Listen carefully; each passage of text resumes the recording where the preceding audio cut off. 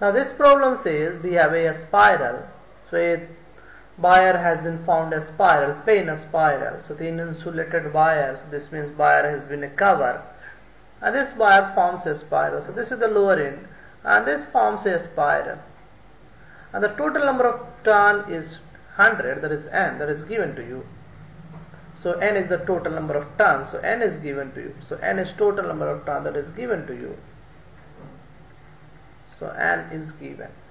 And the inner radius that is also given. So inner radius is a and the outer radius is b that is also given to you. We have to find the magnetic field at the center. So what we have to find? So we have to find b at the center of a spiral. So at center. So how will you proceed for this part? So this is a quite tricky. So let us say what we will do is we will use a result that is due to the circle you have. So if you have a circle due to the circle center. So if you have a circle somewhere here and magnetic field at the center if you have a current I in this I know B is given by mu naught I by 2R. Are you getting or not? So this is simply mu naught I by 2R. So this is due to the circle. Now I will use this idea.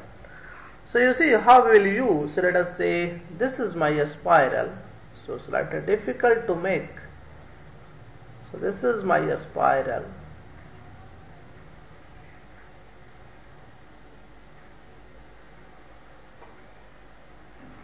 Okay, now finish this one here. So this is my spiral. Are you getting or not? So what I will do is, so let us take a distance r from here. So I am making another diagram. So this is distance r. So at distance r, I will have a circle. And now I can assume there are some more circles. So this is one circle, we will have some more circle. Let us say thickness is dr. So I am next considering next circle is of radius r plus dr. Are you getting or not? So this is my circle, next circle I have and that is the radius r plus dr. So this is r and this is r plus dr. This means this thickness is dr. Now I know the total number of turns, this is inner radius is a and the outer radius is b. So outer radius is b and total number of turns is n. So now I can say in a length of b minus a I have n turns. So what is the turn per unit length? So I can say b minus a divided n divided by b minus n that is the number of turns per unit length. So this is nothing but number of turns. So this is number of turns per unit length.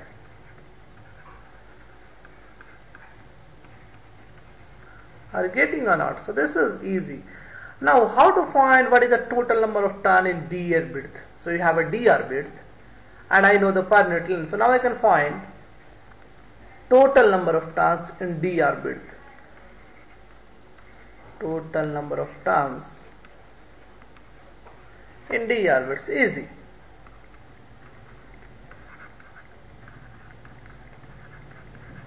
So now I can say this is nothing but n by b minus a into dr because n by b minus a is number of turns per unit length. Now I can assume these all turns are kept at a radius of r because this dr is very small. So therefore these all turns, there are many turns in this width. Due to all these turns, magnetic field at center can be simply given as mu naught I by r. So I can write dB is equals to mu naught I by 2r. r is the distance, r is the radius. Now you see, what is the I? I we will have, this is I, but I have not n turns, I have to have some different turns n dash and this is same as this. So I can plug this value here and now things are easy. So now I can write dB is equals to n by b minus a into dr and mu naught I by 2r. So this is the total number of turns in dr width and this is the mu naught i by 2r. Now I have to integrate simply. So if I integrate this one, this side I have to integrate and this side also I have to integrate. I have to integrate total magnetic field 0 to B and the radius goes from A to B. So this side I will have total magnetic field B. And now if n by b minus f so things are constant I can take common. Mu naught is constant I is constant n is constant. Divided by 2 times b minus a that is also constant. So I am only left with 1 by r. So dr by r. Integrating on this I have to integrate from a to b. So things are simple. Now this is this means b is equals to mu naught i n divided by 2 times b minus a. And if integration of this is ln r so this is simply ln b by a. So this is your total magnetic field. Are you getting or not? So this is your magnetic field. This you have to find in the first part of the question. So due to the spiral this will be the magnetic field mu naught i n 2b minus a ln b by a now the second part of the question says calculate the magnetic moment of a spiral with, with a given current. So we have to calculate magnetic moment. If you remember what is magnetic moment, so B part, uh, we have to calculate magnetic moment. So we have to calculate magnetic moment. So what is this? If you remember, so this is magnetic moment. So if you remember this is mu is nothing but I times A that is the magnetic moment. Did you remember or not? And this is due to the one loop. So you have one circular loop. So let us say again you think in the same direction. So you have this. So let us say I have a circular portion here and this is radius r and the next circular portion I can think of radius r plus dr. So this is, so this means this width is dr. Are you getting or not? So this is r and this is r plus dr. So this width is dr. Are you getting? Now due to this, so let us say this circular portion. So this circular wire. So this circular wire, what is the total magnetic moment?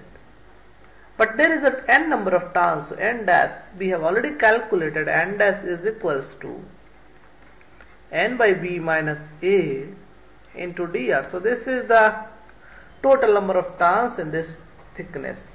So due to one thickness, you, due to one wire, what will be the mu? So due to one wire, I can write d mu is equals to I times area. Area is pi r square. So this is due to one wire. But there are n dash wire. Are you getting or not? So what is the total? So there are n dash wire, there are n dash loop. So I can write total magnetic moment. You see one another important point I and A are area vector. So this is a dipole moment is a vector, magnetic moment is a vector. I am only interested in magnitude right now. So now I can write total magnetic moment. So this is total magnetic moment. So this will be total magnetic moment will be uh, this is d mu times n dash. And we have already calculated n dash. N dash is nothing but n by b minus a. N by b minus a into dr into i times pi r square. Now if we integrate this magnetic moment so I will get the total magnetic moment mu. Mu is equals to I have to integrate this one r goes from a to b and this this goes from 0 to mu. So that is basically mu. So mu is nothing but n by b minus a is a constant. I can take this outside. Other thing i and pi is also constant. So i can be get outside. And pi is also a constant. So I will be left with r square dr. So I have to integrate from a to b. Are you getting or not? Simple now if we integrate this one, so we will have n i pi b minus a. And this is rq by 3 that is bq minus aq by 3 I think everybody can understand this is simple integration. So we will have, finally I can write this is pi